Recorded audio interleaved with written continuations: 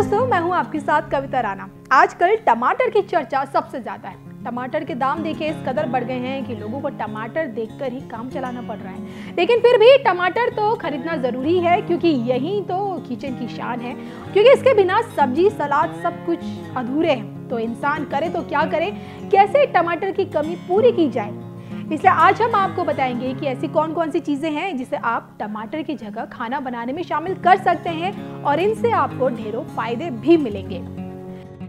टमाटर देखिए, कुछ लोगों का फेवरेट होता है। इसके साथ ही साथ सब्ज़ी में टमाटर स्वाद भी बढ़ाता है और इसलिए टमाटर के दाम से लोग इतना इफ़ेक्ट हो रहे हैं। लेकिन आज तक की एक रिपोर्ट के मुताबिक फ़ेमस शेफ यानी कि संजीव कपूर ने टमाटर के कुछ ऑल्टरनेटिव्स बताए हैं, जिन्हें आप टमाटर की जगह खाना बनाने में शामिल आसानी से कर सकते हैं। कद्दू यानी कि पंपकिन कई लोग देखें कद्दू का नाम सुनकर ही मुँह बना लेते हैं, लेकिन आपको ये बता दें कि कद्दू में विटामिन और मिनरल्स भरपूर मात्रा में होते हैं। Beta carotene vitamin C vitamin E iron और फोलेट ये सब कुछ कद्दू में पाए जाते हैं जो कि आपकी इम्यूनिटी को मज़बूत करते हैं। जानकारी के मुताबिक टमाटर की जगह कद्दू का इस्तेमाल सबसे अच्छा विकल्प माना गया है।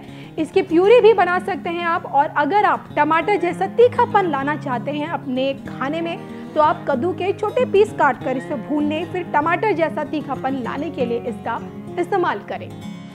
इमली मैग्नीशियम और कैल्शियम का काफ़ी अच्छा सोर्स माना गया है। टमाटर जैसी खटास अगर आपको चाहिए तो इमली से बेहतर और क्या हो सकता है? टमाटर के बजाय इमली के गूदे को दाल कड़ी में थोड़ा सा मिलाएँ और आपको टमाटर जैसा टेस्ट मिल जाएगा।